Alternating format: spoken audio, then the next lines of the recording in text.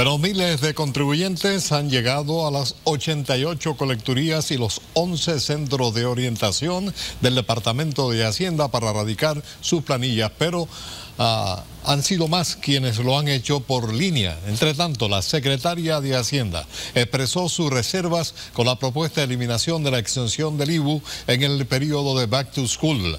Aixa Vázquez con la información.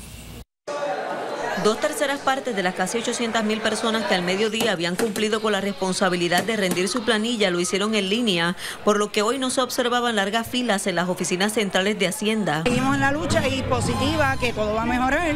Y nada, aquí cumpliendo con mi obligación como tal. El proceso de erradicación era ligero y sencillo. La mayoría de los contribuyentes entrevistados estaban jubilosos, pues recibirían reintegro y a los que les toca pagar lo harán por una cantidad más baja a la del año pasado. ¿Tuvo que pagar? Poco. Poco en comparación con el año pasado. Menos. Menos. Menos. O que está más. Más contento, eso es así. No tengo que pagar nada. ¿No? No. ¿Y cómo compara eso con el año pasado? Bien, muy bien. Sí. Sí, hay que poner el hombro todo para que mejorar. No solamente depende de los que estén al frente, sino nosotros también. ¿Usted entiende que todos debemos aportar? Sí, sea quien sea esté gobernando, hay que, hay que apoyarlos y tirar para adelante Puerto Rico. Es la única forma, no hay que esperar que otros lo hagan por nosotros. A la fecha, Hacienda ha enviado casi 30 millones de dólares en reintegro. Esta semana espera enviar otros 25 millones. Los recaudos proyectados podrían ser similares a los del 2012. El año anterior, para esta fecha, abril, llegaron como 500 millones, pero también venía dinero de una amnistía que estaba ya aprobada. Alrededor de, me dice que casi 80, 90 millones vinieron de la amnistía.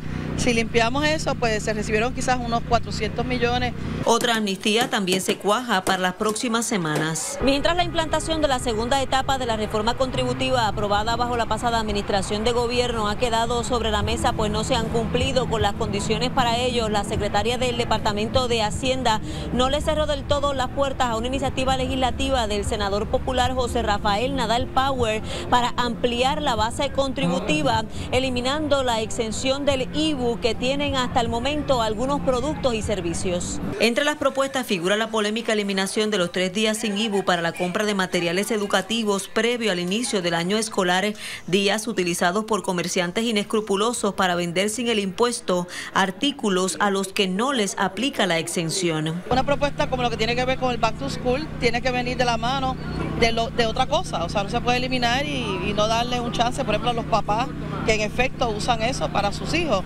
Y hay que ver cómo logramos que el- para lo que es la exención se use. El mayor dolor de cabeza para Hacienda es que apenas el 60% de los recaudos del IBU llegan a sus arcas. Aixa Vázquez, Noticentro.